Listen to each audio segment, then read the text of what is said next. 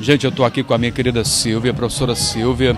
E a Silvia, com certeza, está radiante, está feliz da vida pelo aniversário da sua filha depois de tanto tempo, né, Silvia? Graças a Deus aconteceu. Fala pra gente, o que, é que você sente, que passa no seu coração, na sua mente nesse momento?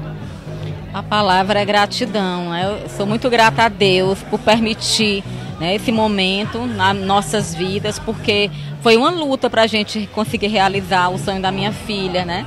Mas as coisas de Deus são assim, né? Quando Ele quer, tudo é possível. Então, eu estou muito feliz, né, por é, me esforçar, por a minha filha conseguir realizar um sonho que foi esse aniversário. Estou muito feliz mesmo.